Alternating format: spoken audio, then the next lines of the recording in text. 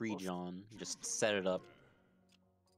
Well, listen, if, if, if Blitz loses, his full ass is on blast. I'm Yeah. not giving him an out.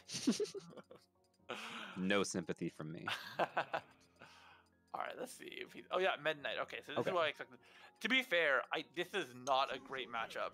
Um, I'm pretty sure that Meta Knight exemplifies sort of the cyclical nature of edge guarding Ness, and I that think- should be on full display. Now we're Mhm. we're we might not actually see the screen for a second because what I'm going to do is I'm going to remove the uh, ping and timer just because Yeah, nobody needs to sure. see that stuff. Show up, yeah, show us the clock.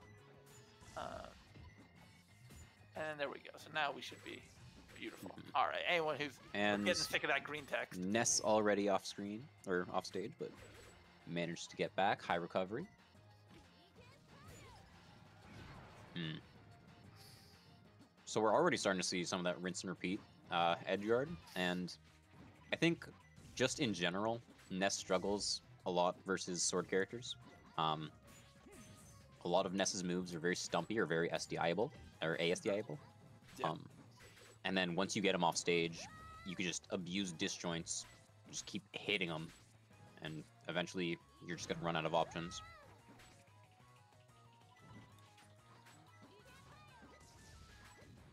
Yeah. And now like right I, I yeah exactly. And I do like what I'm seeing uh, in this neutral game from Phoenix Wrong, but it, it, it is a matter of he's he, he's patient to the extent that sometimes he's not actually gaining a lot. Like he keeps backing off with a lot of these approaches.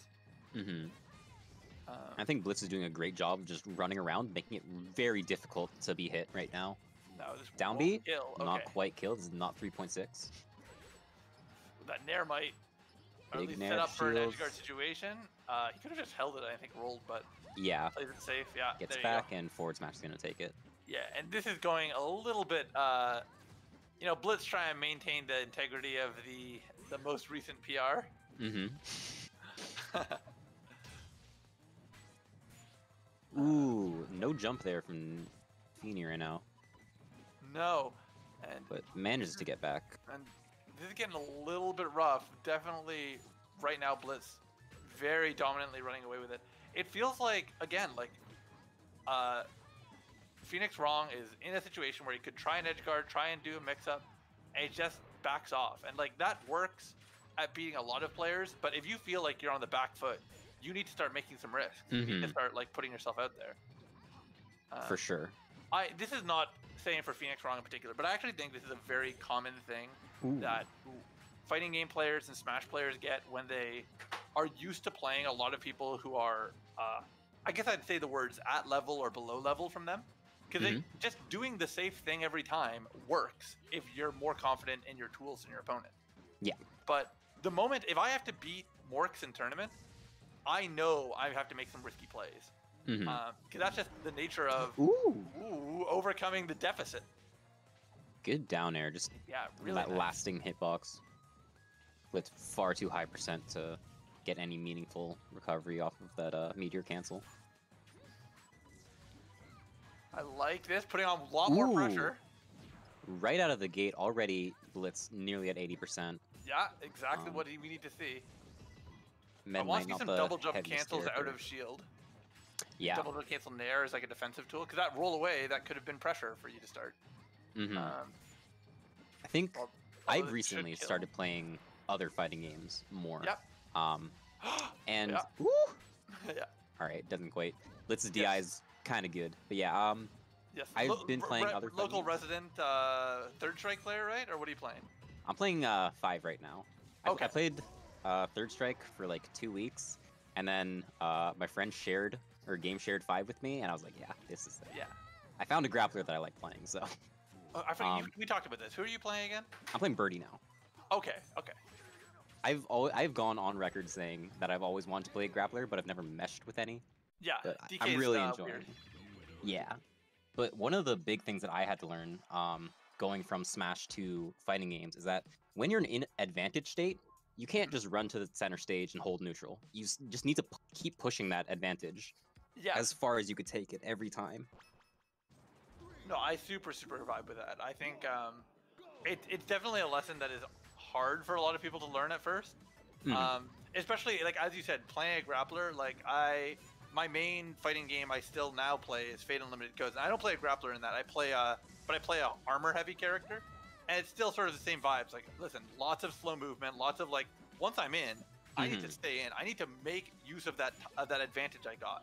Yeah, because Um, the whole point of like your neutral so far has been getting to the point where you can get near your opponent, and then if you go in and then you just try and reset neutral and hold center, you're giving up all of the advantages that you just gained from getting in. And, and I'll say, actually, and this is important because it also applies nice. to Smash, is that honestly, grapplers feel that the most, like in their hearts, but it is everyone. If you get Oki Mhm. and you're a zoner, make use of that Oki. Ooh! Oh, Phoenix Wrong kind of putting in the work right now. That was a meteor, so Blitz did just miss the meteor cancel, Yeah, but is just that was- dude. just the angle that he needed to send him off stage from where they were. Ooh, goes for ledge. Good Yeah, roll up from Blitz. Blitz conscious enough doesn't just go for the the nair, which is the default option for most of them. You have to make remember that I think Ness has 12 frames of invincibility on his up B, Yeah, so you can't just toss out a dummy aerial. grab, so he's gonna get his jump back. All right, ledge, nice and safe. ledge, yep. Nice, Saw goes Blitz double back off a magnet. bit. Up B, not kill? quite no, gonna kill. wow. Ness surprisingly thick. Well, he was only He at like 80 something percent. Can physically get back, but he won't be able to. Yeah, Yeah. yeah. Just gonna grab that ledge, and Blitz evens it back up after being two stocks down. Yeah, really, really quickly coming back. I mean, uh, the way Blitz lost his stock, I definitely know he. Uh, Blitz tends to be a angry gamer, uh, and if you lose the stock in a bad way. But really, this edge guard situation is rough. Ugh. Ooh, back air, Yeah, same situation. He can reach lead, difficult. but he won't. Yeah. Forward smash, not quite gonna kill. Uh, go Pretty high. low percent, and there's another one. That's gonna be it. So Blitz turned it all the way around, got the lead back, and never Unless- mind. Unless Blitz. Man, Blitz keeps dying off the bottom of the left side. Be Yeah. careful, Blitz. All three stocks so far.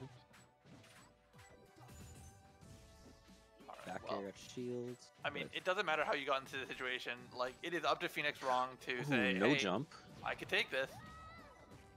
Wow, that was a great angle to get back to the ledge there. Nice stairs. I definitely understand um, from Ness's point of view, like when you get your opponent off stage, you do want to go out and finish it out, but you're so vulnerable. Any stray hit can just, if you use your double jump, it could just be the end of your stock. Nair. Goes to ledge, great. Blitz doesn't grab it for some reason. Nair, that's gonna be it. Yeah. Now, I once I again yeah, am go ahead. still impressed. I am too. I mean, like, and he's got. And this is not over by any means. Like, this is for sure. winner's side. This is tons of time to come back and change how things, uh, how the rest of the tournament's going to go. Um, and there's, and I definitely think that of of everyone that we've been seeing, like Phoenix Wrong definitely has that capability and that potential. So I'll get that score, and that's 2-0 for Blitz. yeah. And I I want to go over. I, I, I there's a sick match happening right now that I kind of wish we were watching because MJ Greeley is playing against uh, Mocha. Ooh. And MJ, we've not really seen it all at our events, but uh, Mhm. has had some dominating records on a lot of our local players. Uh, controversially, said he's uh 3-0 on Frost, and Frost said, "I don't think we've ever played." That's all I'm saying. Well, if things go well for Greeley right here, That's they could end up playing, So and we might be getting a Lucas Ditto. Yeah, that's what I'm kind of vibing. You know what? I think the the responsible thing to do is why don't we follow Blitz to face Peanut, and then we'll face Fro- see Frost and the winner of MJ and Mocha after. hmm I am always happy to watch Peanut play. I didn't used to be, but I've very much warmed up to him now. Yeah. But anyways, great showing from Phoenix Wrong today so far.